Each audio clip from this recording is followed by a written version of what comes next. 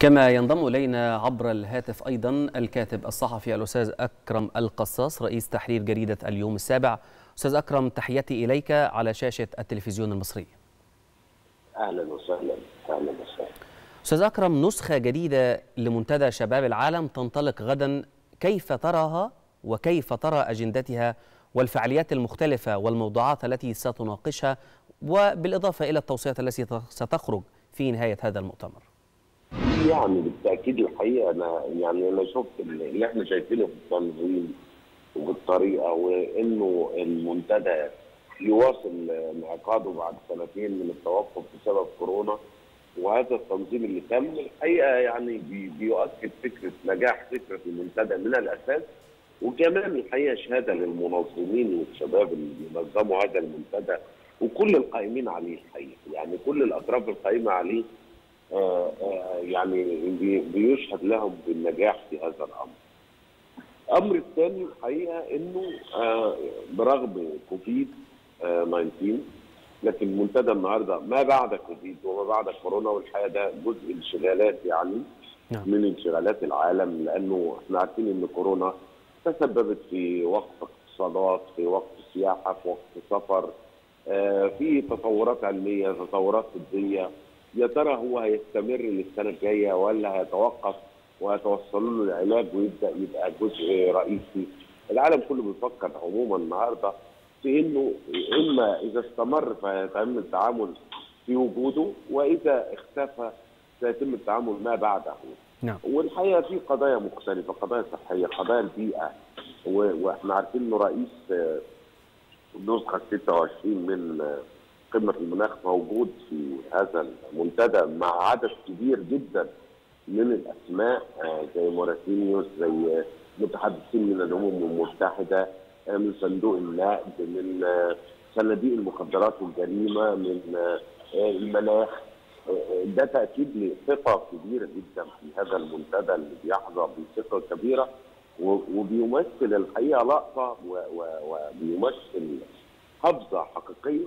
تجذب تجذب آه، آه، آه، شخصيات كثيره وعلى مدى نسخه المختلفة استطاع انه يحظى بالثقه زي ما الدولة المصرية الحقيقة بتحظى بالثقه والرئيس عبد الفتاح السيسي الحقيقة أولى اهتماما ورعاية لهذا المنتدى ولمنظميه وكان زي ما أنت أشرت في البداية أنه دائما ما كانت توصيات تخرج مش مجرد توصيات زي كانت سابق كان بيتم تنفيذ عدد منها التقاط أعداد مختلفة من التوصيات التقاط شخصيات وموهوبين في اتجاهات مختلفة للعمل. فإحنا بنتكلم الحقيقة في منتدى. آه، نجح على مدى النسخ المختلفة نعم. إن هو يحظى بثقة دولية خاصة وإنه بيعقد بعد سنتين من من توقف التوقف بسبب بسبب كورونا. الاجراءات الاحترازية ومع طيب. ذلك الحقيقة التنظيم بتاعه حتى الآن. بيراعي هذه الإجراءات طب خلينا أسألك يا أستاذ أكرم عن آه، الموضوعات التي يناقشها آه، المنتدى في نسخته الرابعة وما آه، تماشي هذه الموضوعات مع القضايا المطروحة على مستوى العالم وأيضا القضايا المصرية التي يناقشها في الداخل كمثلا على سبيل المثال مبادرة حياة كريمة وكيف آه، لهذه المبادرة صدى كبير في الداخل وفي الخارج. يعني بالتأكيد زي ما أنت أشرت آه، إحنا عارفين إن المنتدى بيناقش طبيعي قضايا مطروحة دوليا واقليميا وغيره. الحقيقة إنه نجح في إنه آه، بيطرح القضايا اللي, اللي, اللي مطروحة حديثا على الساحة بشكل كبير.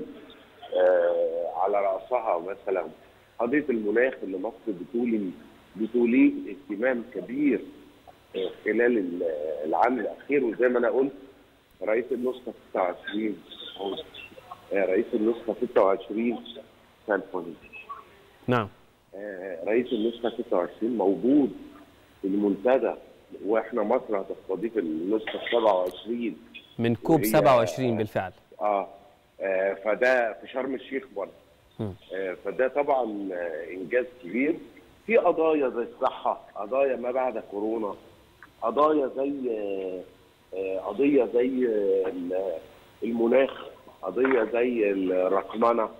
في زي ما أنا قلت كلمات لمحمود محي الدين لغدا والي. آه هم مصريين بس ممثلين لكن ممثلين في المجتمع الدولي. نعم نعم في موريتانيوس آه، ممثل ال- الحضارات في الأمم المتحدة. في جون كيري ممثل المناخ في أسماء كبيرة الحقيقة. طب أستاذ أكرم ممثل. آه، أود أن أسألك أخيرا عن آه، أهمية هذا المنتدى منتدى شباب العالم بعد أن حقق آه، على المستوى العالمي آه، طفرة كبيرة وأصبح منصة معتمدة في آه، بعض المنظمات الدولية كمنظمة الأمم المتحدة. والتوصيات التي تخرج عبر هذه المنصات منصة منتدى شباب العالم لأنه ممثل لكل شباب العالم. أهمية هذا المنتدى في هذا الوقت بالتحديد بعد توقفه لعامين بسبب تداعيات جائحة كورونا. أهميته عموما اولا إن هو منصة شبابية في الاساس وبيضم عدد كبير جدا من كل من ممثلين لكل قارات العالم. هو منصه لحوار شامل حول القضايا المطروحة إما اقليميا أو دوليا أو محليا. نعم. وأنت أشرت لنقطة مهمة جدا اللي هي حياة كريمة. حياة كريمة تعتبر درة المبادرات الرئاسية. والحقيقة إحنا مش بنتكلم عشان دي طالعة من مصر بس المبادرات دي حظيت بثقة دولية لأنها تقوم على أساس واقعي وتعالج قضايا حيوية تتعلق بحياة البشر. نعم. بمعنى إنه مصر على مدى عقود كان الريف المصري مهمل. النهارده الرئيس بيعيد صياغة الريف ده وبيعطيه الحق في الخدمات على قيد المساواة مع المدن ومع المحافظات ومع المدن الكبيرة. فإحنا هنا بنتكلم على صياغة حقيقية. لأفكار آه، قد تبدو نظرية أو آه، أو تبدو بعيدة عن عن الواقع لكن النهارده هي بقت واقع فعلا وبقت ترجمة حقيقية لهذا الأمر. نعم. فدي نقطة مهمة.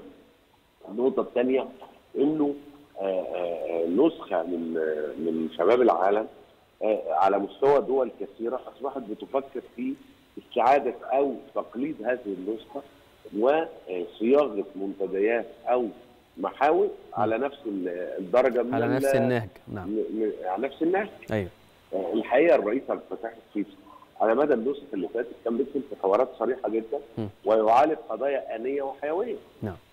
فهنا المنتدى إحنا بنتكلم على إنه مش مجرد منتدى للكلمات لا هو منتدى للتنفيذ وإحنا على مدى السنوات اللي فاتت الحقيقة تعودنا إنه الرئيس عبد الفتاح السيسي بيلتقط الأفكار الصغيرة والأفكار الموهوبة والمواهب نعم. ويتبناها ويدفعها وينفخ فيها في الشكل اللي يطلعها يحولها إلى واقع وإلى تنفيذ حقيقي وجداول عمل و آه، آه، تنفيذ في الوقت والجهد والشكل والمضمون.